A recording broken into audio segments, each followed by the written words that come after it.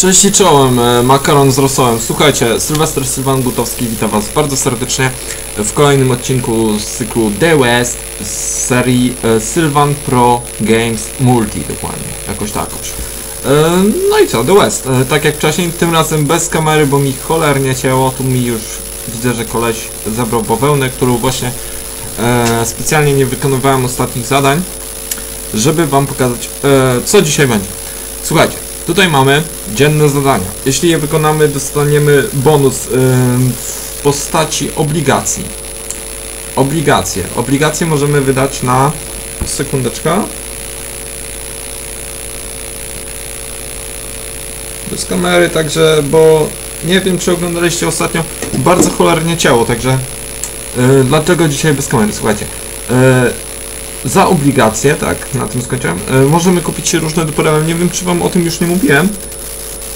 To nie to. E, różne przydatne rzeczy, które są potrzebne, na przykład mm, głupi strój, który, głupi, no, on bardzo dużo daje. Jeśli byśmy zebrali dany, dany strój, e, to wtedy mamy większe szanse na pokonanie przeciwnika oraz na lepszą grę. Także słuchajcie. Ale nie o tym chciałem dzisiaj wam pierdolić, tylko o o rzemiośle. Dokładnie o rzemy, rzemiośle kowala, e, ponieważ ja właśnie jestem kowalem, także o tym wam mogę powiedzieć. E, tak o, słuchajcie. E, za każdy, no znaczy nie za każdy, za każdy wykonany przedmiot, e, nie za każdy, za nie, za nie każdy, o tak wam zacznę, za nie każdy wykonany przedmiot dostajemy punkty, punkty pracy. E, Nie wiem, czy to jest maksymalny mój poziom punktów pracy, czyli 650. Ja mam dopiero 8%, także to nie jest dużo. Eee, punkty pracy. Yy, pracy. Yy, punkty. Kowala. No, 650 jest chyba maksymalnych u mnie, ale słuchajcie, wytworzyłem ostrzenie broni. Ostrzenie broni już wam pokazuję. To jest tu.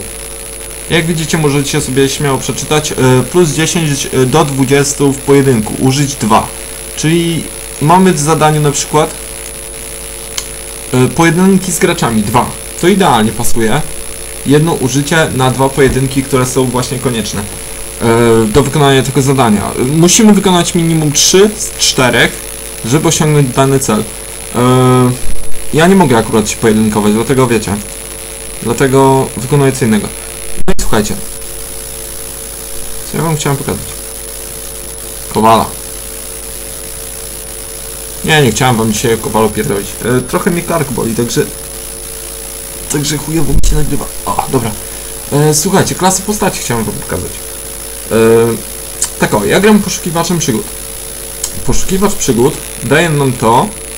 Już wam pokazuję. Będziecie to mieli bardzo dobrze. Widoczne. Daje nam to. Szansa na znalezienie produktu podczas pracy wzrasta o 10%. To jest prawda ponieważ ja ostatnio znajduję jakieś kusze, jakieś, jakieś takie strzelby, nie strzelby, to jest przydatna rzecz. E, dalej, szanse na znalezienie przedmiotów podczas pracy. Czekajcie. Przedmiotów, to, to właśnie kusze i, i, nie, i strzelby inne dopiero. A na znalezienie produktu? A, produktu, no tak. Produkt. Produkt to jest ten, o który się, o który się staramy. Czyli pióro kruka, E, i takie tutaj różne rzeczy pokazuję wam w pierwszym lepszym.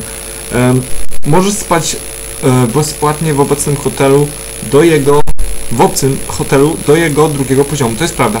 W każdym hotelu mogę spać za darmo do drugiego poziomu, a inni muszą bulić za to. Także jak dla mnie, dobrze. Tylko, że ja i tak śpię w moim hotelu, w moim mieście, także to nie jest problem. No i słuchajcie, co mam dalej. Ryzyko zranienia podczas pracy spada o 10%. To jest prawda, ostatnio jakoś e, nie obrywam za mocno. Ostatni podpunkt. Nie patrzcie na to. To jest e, praktycznie w każdej w każdej klasie jest podobnie. Znaczy podobnie. Czymś się różni zawsze. Tutaj mam e, Chwileczkę. No, słuchajcie, jak e, dwa traf, e, jak e, dwa razy trafię w ciągu jednej rundy bitwy o fort, mam 25% szans, aby resztę tej rundy ani razu nie zostać trafionym, czyli Jak w Matrixie, trafię, ale nie dostanę. Dalej. Im dłużej gram w tą grę, tym bardziej mi się podoba klasa zawadiaki, bo bardzo dużo się pojedynkuje, a klasa zawi- zawad... Ale się mi pierdzieli. A klasa zawadiaki właśnie temu służy. Dzisiaj nic nie piłem, także żeby nie było, nie? Po prostu mi się plącze jest. Yy, bardzo mi się podoba właśnie ta klasa. Mm, Na przykład, twoja prędkość na mapie wzrasta o 10%. Wiecie, znacznie szybciej jedziemy i tak dalej, podróżujemy. Yy, ale to też można zmienić po prostu konia i też jedziemy szybciej. Motywacja do pojedynków wzrasta. e, do pojedynkowania się wzrasta 40% szybciej. To jest prawda. E, widziałem właśnie, że, że, że można się pojedynkować 40% szybciej, znaczy być bardziej skutecznym po 40. Dobra, skończ, pier, skończ pierdolić, mów jak było. Trzecia, trzecia, trzeci podpunkt. Dostaję 10% więcej pieniędzy za pojedynek. Tego nie mam pojęcia, ale możliwe. Poczekajcie chwilę. Łyk kawy, bo mało spałem. E, no, także 10% więcej kasy za pojedynek. No to jest dość dobre. Zyskujemy nieraz po 1000 nawet. E, Nie zabieramy wszystkiego, żeby nie było, nie zabieramy wszystkiego, co mają gracze. No, niekiedy się zdarza, że, że możemy zabrać wszystko, o ile ma mało. Wtedy możemy. No i tutaj właśnie jest takie coś, że w bitwie o fort 10% szans na zadanie trafienia... Czekajcie? Tak, w bitwie o fort mam, y, masz 10% szans na zadanie trafienia krytycznego. Trafienie krytyczne, każdy wie co to jest y, z innych gier. No trafienie krytyczne, no to koleś się nie pozbiera za szybko. Y, Takie trafienie zadaje dodatkowe obrażenia w postaci 10% maksymalnej liczby punktów życia. Czyli wiecie, jeśli e, ktoś ma, dajmy, 1000 punktów życia, odbieramy mu 100, tak? Wiecie? Tak, odbieramy mu dodatkowo 100 punktów życia. Możesz się pojedynkować w promieniu 15 minut marszu od konie- bez konieczności podróżowania. To jest dobre. Jedziemy, dajmy do... Yy, chwila, zminimalizuję. Jedziemy, dajmy, pojedynkować się... Znajdźmy gdzieś... O, tutaj. Pojedynkować się z ciuciu 179. Dajmy, nie? Nie, żebym chciał, nie? Nawet nie mogę. Yy, pojedynkować się z nim jedziemy. Ja jestem w zasięgu właśnie teraz 15 minut od niego, nie muszę tam jechać, żeby się z nim pojedynkować. Mogę na odległość się z nim pojedynkować, także to jest duży plus. E, dalej, poprzez trening percepcji możesz zobaczyć w menu pojedynku jaką broń oraz umiejętność z ubioru posiadają przeciwnicy. O, to jest ciekawe. Czyli zawadiaka to jest typowy cowboy, który lubi się e, pojedynkować przy okazji ma rentgena w oczach i wie z kim się pojedynkuje dokładnie. No i dobra, powrót do podglądu, dalej. Najbardziej użyteczny człowiek w mieście, który pomoże wam rozbudować to miasto. Ale bowiem, robotnik jest to taka klasa, która e, służy głównie budowie miastu, jeśli budow... Dobrze powiedziałem, budowie dokładnie. Budowie miasta. Źle powiedziałem. No. Otrzymuje 5%, pro... 5% punktów doświadczenia więcej za wykonywanie każdej pracy. To jest o wiele lepiej niż u mnie. Akurat jak ja wykonuję pracę, to dostaję po prostu jakieś rupiecie, które mogę sprzedać, czyli zyskuję, można powiedzieć, pieniądze, a nie, a nie punkty doświadczenia. A punkty doświadczenia mi się by bardzo przydały. No, Czekajcie, bo mi bryje. Płacisz o 2% mniejszą opłatę bankową. To akurat nie jest korzystne dla każdego miasta, ponieważ e, to wam później powiem. Ponieważ, znaczy może teraz wam trochę to pokażę nawet. To nie jest dobre, ponieważ gdy płacimy, wpłacamy do banku jakąś kwotę, dajmy to co ja mam tutaj, 191. Ciach. Prowizja bankowa tutaj jest opłaty 9%. Te 9% nie znika tam gdzieś w grze. Nie, nie. Ono trafia do... Czekajcie, tu w banku jest. Ono trafia do kasy miejskiej. Dzięki temu y, dane miasto ma pieniądze. Także to źle, gdyby ktoś mi mniej płacił po prostu w moim mieście, a byłby obok i tam chciałby coś płacić. No to dobra. Także jeśli ktoś ktoś nie lubi płacić dla miasta, no to spoko, ale robotnik przy tym e, właśnie jest w czymś innym dobry, e, co pomaga miastu, czyli otrzymujesz premię przy rozbudowie miasta od 5 posiadanych punktów umiejętności, czyli on otrzymuje dodatkową premię. Motywacja do budowy budynków w mieście wzrasta 10% szybciej. Też bardzo przydatna rzecz, bo szybciej rozbuduje po prostu to miasto. I w walce o fort każdy ma co innego, nie wiem. E, bonus twojego sektora jest powiększony o 30%, czyli walkę o fort chyba wam pokażę, pokażę za tydzień. Czyli bonus sektora no nie pokażę wam tak, no bo musiałbym walkę o fort pokazać, żeby dobra. Mm, Nie wytłumaczę. I dalej, żołnierz. Jeśli chcecie walczyć o forty e, drużynowo lub niedrużynowo, żołnierz jak najbardziej do tego służy. I dodatkowe ma inne, bardzo fajne sprawy, czyli za każdy punkt umiejętności przydzielony na punkty życia otrzymujesz dodatkowo 5 punktów życia, czyli umiejętności. Wiecie? Tutaj mamy punkty życia. Jeśli da, damy tutaj jeden punkt, czyli dajmy, ja będę miał 76 w tej chwili, dostaję dodatkowe 5, czyli mam 81 wtedy. Chyba dobrze będzie. No. Dostajemy, kurwa, dostajemy dodatkowo 5%. 5 punktów życia, nie procent. E, Poziom potrzebny do użycia danej broni jest obniżony o 3 poziomy. Coś pięknego, coś pięknego, słuchajcie. Bo jeśli chcemy coś kupić, może źle, źle to pokazałem, bo tutaj jest wszystko dostępne akurat dla mnie. Hmm. No jeśli chcemy coś użyć, nie kupić. O, mam tu gdzieś chyba nawet takie coś. Takie coś, nie takie coś. O, takie coś. Yy, precyzyjny Cold Navy. I ja muszę dojść do poziomu 130, żeby go użyć. Żołnierz nie musi. Żołnierz o 3 poziomy, czyli żołnierz musi do 100, 127 poziomu dojść, aby go użyć. Czyli mamy o wiele prościej co do, co do obsługi broni i tak dalej. W końcu żołnierz, on powinien się na tym znać, także nic w tym nie jest yy, błędnego z logiką. Także dalej.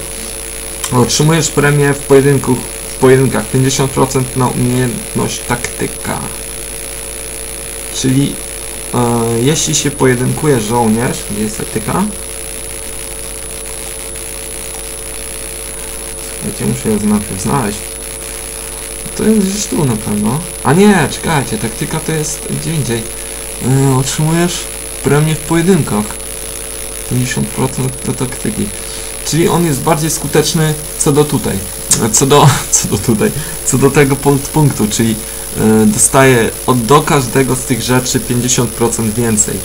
Czyli on jest też jakby zawadiaką, ale trochę gorszym.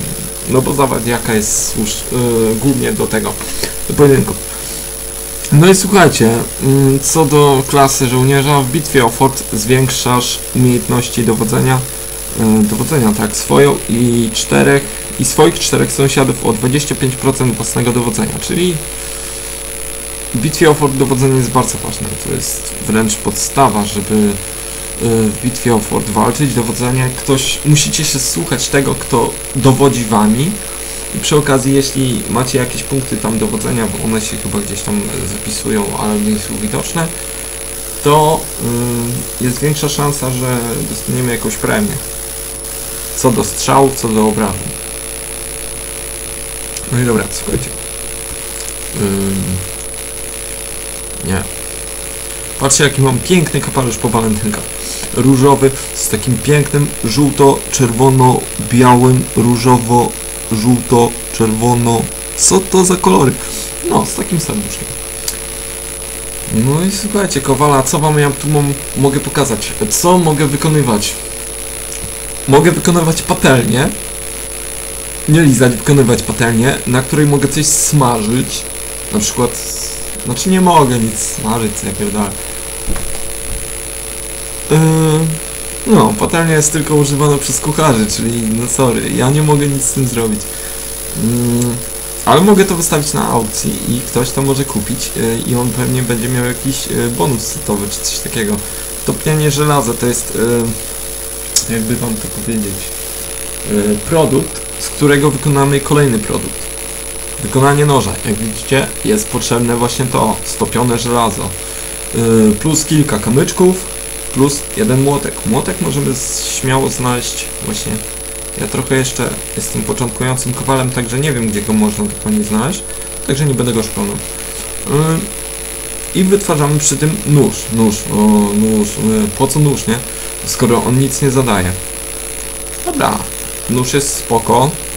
To są tylko podstawowe funkcje. Dalej, ostrzenie broni, które Wam pokazywałem na początku, czyli już nie będę Wam tego pokazywał. Dalej mogę wytworzyć grafit, który jest potrzebny do kolejnego rzeczy, rzeczy czyli do wytworzenia smaru grafitowego. A ze smaru graf grafitowego, tak? Może nie? Nie, sproszkowanego grafitu, który jest potrzebny do wykonywania właśnie smaru grafitowego, który, jak widzicie, plus 20 do 40 obrażeń w bitwie portowej, użyć 1. Czyli można, mogę to opknąć y, na aukcji w mieście i zarobić właśnie na... Ktoś może to użyć w bitwie fortowej i po prostu zwiększyć swoje umiejętności. Dalej, moje najnowsze osiągnięcie, czyli tu potrzebny jest ten nóż właśnie. Czyli wytworzenie bagne bagnetu plus 25 do 75 obrażeń w bitwie fortowej, użyć 1. Czyli o wiele mocniejszy od y, smaru grafitowego, ale o wiele trudniejsze do wykonania. No bo potrzebuję kilku rzeczy, które niestety hmm, są mozolne i długotrwałe do wyrobienia, czyli muszę to wyrobić, wyrobić magnet, a to trochę idzie tych rzeczy. Później skórę, nie wiem skąd jeszcze wziąć skórę.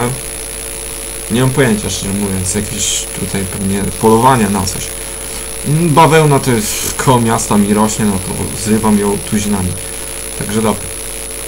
Zrywam, zrywa się bawełnę. Kosze, dobra, kosze. Dalej, kolejna rzecz. Yy, słuchajcie, chwilę. Nie, dobra. Schowam tylko te zadania, żeby mi nie przeszkadzały. Dobra, tutaj mam wszystko. Yy, dalej, yy, coś wam chciałem pokazać w mieście. Bo dzisiaj miałem, yy, to jest drugi z pięciu, także chcę wam coś jeszcze pokazać, tylko nie wiem jeszcze co. Nie pamiętam co. o sojuszu pogadamy w następnym odcinku, wiecie? Chyba, że będę miał bitwę o kwartale, to mało, mało istotne. E, każde miasto, jakby nie patrzeć, ma jakiś swój e, charakterystyczny, że tak powiem, charakterystyczną rzecz. To znaczy, moje miasto jest blisko na przykład ludzika z Minecraftu. Co za tym idzie, to miasto tak samo jest blisko tego ludzika. Chciałem wam pokazać piękne miasto, które miałem kurde zaznaczyć przed nagraniem, które jest tak piękne, osa pięknie osadzone, że normalnie szat. Mm, ale słuchajcie, no nie znajdę go, nie znajdę. E, do naszego miasta cyrk przyjeżdża niedługo. No, pogadam o cyrku. Właśnie, czemu nie? Why not? Jeśli chcecie zasłużyć się w rozbudowie cyrku i przy tym dostać jakieś mm, dodatkowe obligacje i chcecie, żeby ten cyrk szybciej po prostu się rozwinął, prosta rzecz. E, jeśli macie którąś z tych rzeczy, a nie jest na 100% już dostarczone, przyjeżdżacie do cyrku, e, wrzucacie te rzeczy dane i wtedy ileś tam procent tego po prostu się zwiększa. Jeśli mm, nie macie tych rzeczy, a chcecie, żeby szybciej cyrk wystartował, możemy to rozbudować po prostu. Czekajcie, ja to nie będę rozbudowywał, bo ja śpię. Eee, rozbudować w ten sposób, że poświęcamy chyba 250 dolarów, 240 dolarów. To nie jest dużo, akurat tyle mam tutaj. Skąd to mam? O, to jest pytanie. Z kitu. Nie wiem skąd. Ale właśnie mam te 240 dolarów, także słuchajcie, w wolnej kieszeni, nie w banku, nie? Także i tak to z banka, z, z konta bankowego bym wam pociągnęło i rozbudowało śmiało, także to nie jest mały, wielki problem rozbudować, jeśli chcecie szybciej. Ja akurat y, chwilowo nie rozbudowuję, ale jutro zacznę trochę, dorzucę kilka, kilka monet na rozbudowanie. Fajny Hmm, ciekawe, jeszcze takiej góry nie widziałem. Dobra, i słuchajcie, no. Yy, co ja mogę jeszcze o dzisiejszym dniu powiedzieć? Czekajcie. Tutaj, nie wiem czy... O, widzicie, bo nie ma kamery na pewno. Tutaj mamy ciekawe rzeczy typu wycentruj yy, mapę na... Wycentruj mapę na mieście. No, dokładnie. Czyli klikamy to, jesteśmy w naszym danym mieście, czy tam jesteśmy w mieście, które założyliśmy, czy też jesteśmy w mieście, do którego należymy. E, dalej, wycentruj, e, no, pokaż postać na mapie, czyli klikamy, no ja akurat jestem w mieście, także pokażę tutaj. No, także to jest skuteczne, sk- są skróty klawiszowe, o których możecie bardzo śmiało się dowiedzieć tutaj w, w ustawieniach. Wszystkie te skróty, jeśli wszystko ładnie, szybko przeczytacie, znaczy nie szybko, no przeczytacie powoli, będziecie wiedzieć do czego e, dane skróty służą i możecie też przystosować do własnych, y, własnych potrzeb po prostu. Sygnatura? A nie, w to się nie bawi. Zdjęcie awataru. Hmm, hmm, hmm. Pony Express. Jeśli chcemy dosta dostawać po prostu wiadomości na maila, zaznaczamy daną rzecz. Co chcemy dostawać, jakie wiadomości na maila. Ja akurat się w to nie bawię, jeśli jestem nieaktywny od kilku dni, no to dostaję y, siema siema, y, ty wracaj, bo jest y, potrzeba, polujemy na bandytę, który ma na imię Dziki Łoś, czy tam y, Dianin, który nazywa się Kucający Pies. A wiecie czemu pies kuca? Głupia nazwa Indianina, także wiecie. Dalej, tekst osobisty, dobra, to to nie interesuje was. Co ja tam napisałem, no. Yy, dobra, słuchajcie. To już trwa mniej więcej 20 godzin. Yy, 20 godzin, 20 minut, słuchajcie. 20 godzin jakby to trwało, to byście już nie oglądali dawno. Ale słuchajcie, dobra. Yy, chciałbym właśnie zwrócić uwagę. Yy, jeden z youtuberów o nazwie Hiron, kreska.pl Games dał mi taki pomysł, aby po prostu zrobić, e, żebyście mogli zadawać mi pytania, a ja na nie odpowiadać. Tak, taki tego typu program. Czyli słuchajcie, jeśli będziecie mieli jakieś pytania dotyczące wszystkiego e, ogólnie, to zapraszam serdecznie do napisania na YouTubie lub na Facebooku. Ja chętnie odpowiem w następną sobotę, jeśli jak, jakobyż pytania będą, to chętnie odpowiem. E, jeśli nie będzie, no to nie odpowiem, bo nie będę miał na co. Dzięki za oglądanie tego prze, yy, przedurnego odcinka. Jeśli Wam się podobało, wiadomo co robicie. Jeśli nie, no to wiadomo, nic nie róbcie, bo po co psuć komuś yy, opinię i w ogóle. Także dzięki jeszcze raz za oglądanie. Na razie i cześć.